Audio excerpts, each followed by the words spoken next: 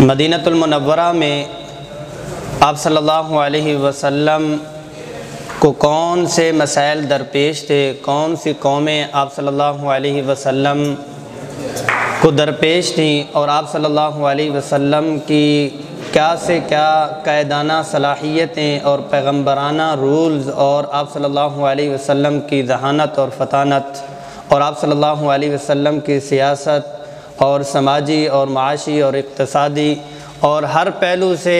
خاندان بندی اور افراد بندی، افراد سازی اور انسانیت سازی، ساری چیزیں مدنی زندگی میں ہمیں ملیں گی۔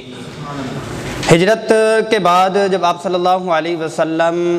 مدینۃ المنورہ میں پہنچے،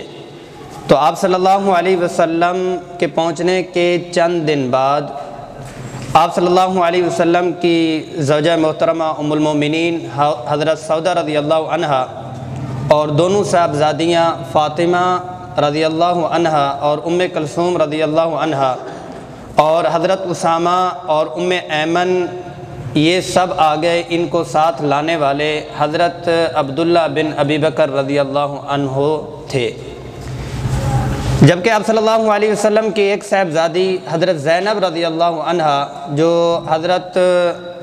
ابو العاص کے پاس تھیں، ان کے نکاح میں تھیں، غزوہ بدر کے بعد پھر آئیں۔ وہاں پر جب ہم اہل بیت پہ بات کریں گے، وہاں پر ان کی تفصیل آئے گی۔ آپ صلی اللہ علیہ وسلم کی مدنی زندگی کو بھی تین حصوں میں ہم تقسیم کریں گے تاکہ سمجھنا آسان ہو۔ جیسے مکی زندگی کو تین حصوں میں تقسیم کیا تھا، سال کے اعتبار سے اور احوال کے اعتبار سے اس وقت بھی سمجھنا آسان ہو گیا تھا۔ آپ صلی اللہ علیہ وسلم کی زندگی، مکی مدنی زندگی جو دس سالہ ہے، اس میں ایک مرحلہ جو یکم سے یعنی ایک ہجری سے لے کر چھ ہجری تک، ایک سے لے کر چھ ہجری تک دوسرا مرحلہ چھ سے آٹھ تک اور تیسرا مرحلہ آٹھ سے گیارہ رب ربیع الاول تک، جس میں آپ صلی اللہ علیہ وسلم اس دنیا سے پردہ فرما گئے۔ اب ایک ہجری سے چھ ہجری تک جو احوال آئیں گے، وہ یہ ہے کہ مدینۃ المنورہ میں بھی آپ صلی اللہ علیہ وسلم کا پیچھا قریشیوں نے اور مکہ کے مشرقین نے نہیں چھوڑا۔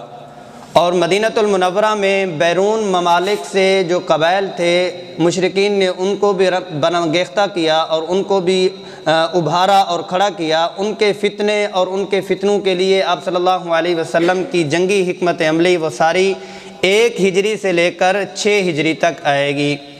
پھر یہ ہے کہ چھ سے آٹھ تک جو احوال آئیں گے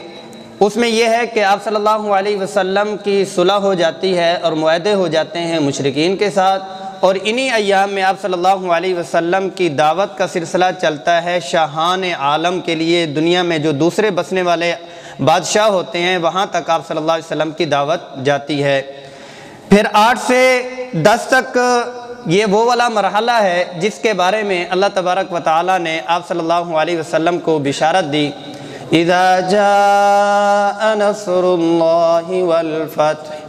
ورأيت الناس يدخلون في دين الله افواجا کہ لوگ فوج در فوج یہ آخری ایام میں اسلام میں داخل ہوتے ہیں اور داخل ہوتے جائیں گے۔